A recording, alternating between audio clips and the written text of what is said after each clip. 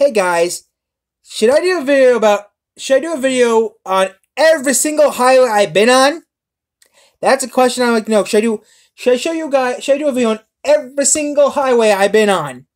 Because I got a box around here somewhere. I don't know where. I don't know where we're doing it. Wow, where did that box go? I have a box around here somewhere. I don't know where it is. It has every single highway I've been on. Every single highway I've been on. Not kidding.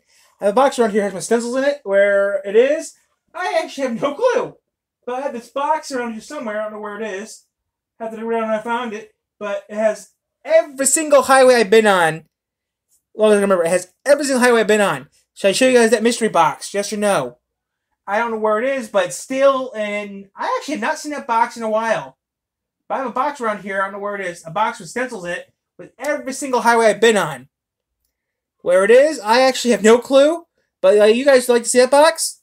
Because has every single highway I've been on. I haven't seen that box in about a year or two now.